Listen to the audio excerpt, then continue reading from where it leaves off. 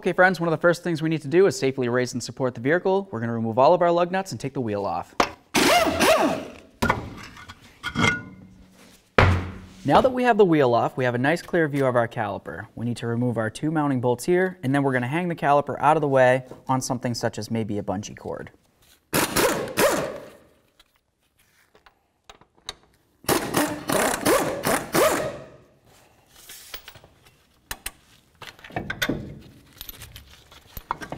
That caliper.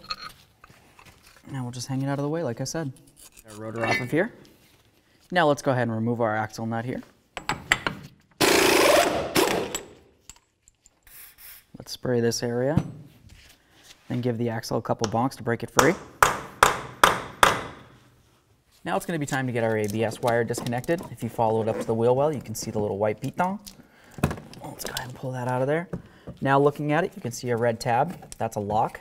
Let's go ahead and pull up on that lock and then press in on this black piece so we can release this. I always like to take a peek, make sure everything looks good. Now let's grab our ABS wire and we're going to start taking it down to the knuckle.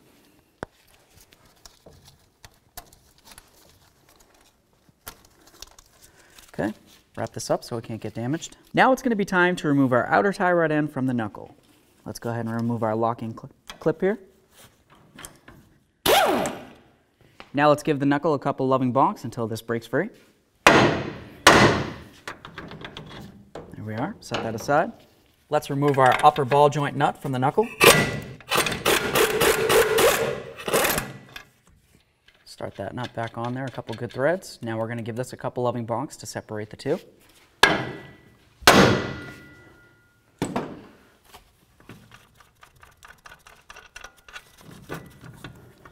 Remove our lower ball joint nut from the knuckle.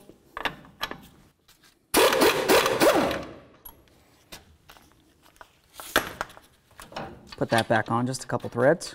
Now we're going to give this a couple loving bonks to break it free as well.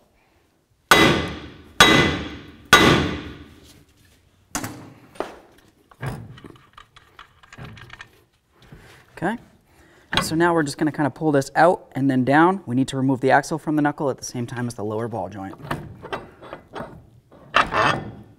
Now we need to get the axle out of our front differential. You're going to notice it's stuck in there because it has a locking clip, so if you just give it a couple loving bonks, you should be able to break it free.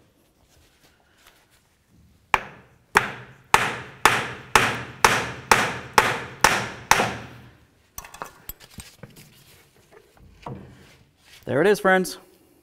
Now that we have our axle assembly out of here, you might notice that it looks different than the new axle assembly. The reason for that is because this shaft right here is actually a pressed in shaft. So essentially you would just kind of take this, you'd slide it in there, bonk it in, and then you have this same exact axle here. The problem is that these get stuck inside there, so it's best to just go ahead and replace this unit at the same time. Okay, so it's time to prep our brand new axle here. And what I mean by that is we're just gonna take a little bit of lubricant, we're gonna come inside these threaded areas, that's gonna help keep the moisture away. And put a whole bunch in there. That feels good inside all those splines. Beautiful. Now we're going to take our insert piece here, and you're going to notice that one side is shorter, the shanked area, and it also has a little rubber. Okay, This is a gasket, and it's supposed to help keep moisture out, so that's going to go up against the axle. Put it in just like this. I've got this on a nice piece of wood so it can't be damaged, and I'm going to use a rubber mallet, and we're just going to bonk this in until it locks in. There it is right there. Give it a nice tug, Make sure it's completely secured all the way around, nice and level. So before we go ahead and put the axle in there, something that's important to think about is your seal right there. It's always a great idea to go ahead and replace it. For the purpose of this video, we're not necessarily going to do that. So of course, I'm just going to inspect it, make sure it's not torn or worn in any way. This one looks decent. So let's go ahead and put this up in there. Carefully slide it in. You should feel it want to line up with the splines inside the front differential.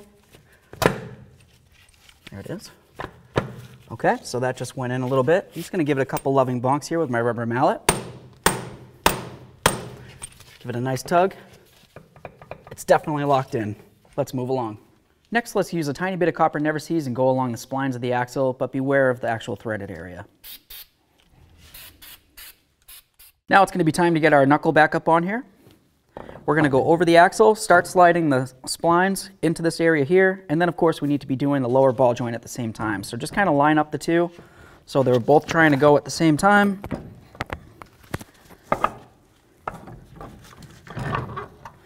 There it is. Now we're just gonna take our lower ball joint nut and start that in there. Let's go ahead and get that ball joint nut on there. All right, now let's snug that up. Now it's gonna be time to do the upper ball joint. Let's go ahead and start that in. What you might notice is you have a hard time pulling down. Just use a nice pry bar for leverage. There we are. Start that nut on there. Now let's go ahead and torque this upper ball joint nut to 40 foot-pounds. Let's torque the lower ball joint nut to 38 foot-pounds. Now the next thing we want to do is make sure that our hub surface is nice and clean and then give it a nice coating of copper never seize. You want to make sure that the hub surface on the back side of your rotor is clean as well so you have a smooth surface to mount up here. Let's go ahead and get this rotor on. Perfect. Now we're going to grab the caliper, we'll start in the bolts, and then we'll torque those to manufacturer specifications. let's go ahead and get the caliper on here.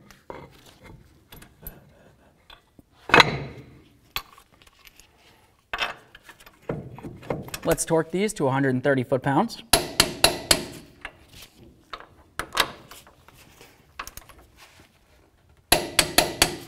Let's get our tie rod back on here now.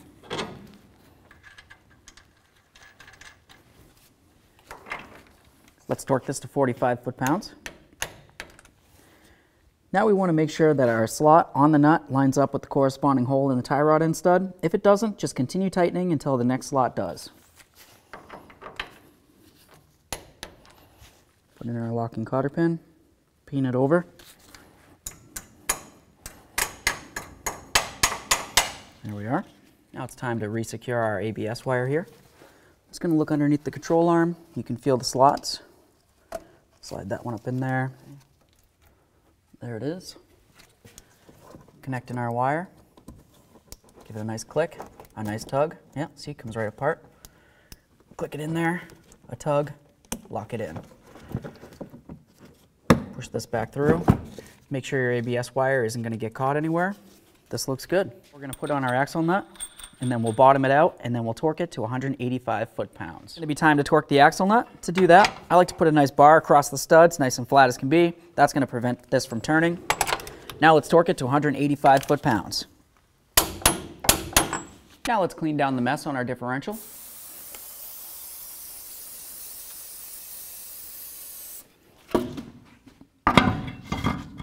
Let's get our wheel back on here.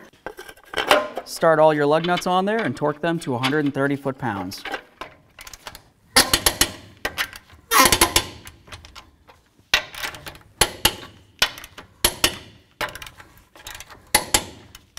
Okay friends, so now all you want to do is go ahead and pump up those brakes so they're nice and firm, check your brake fluid, and of course get it down to your local alignment shop.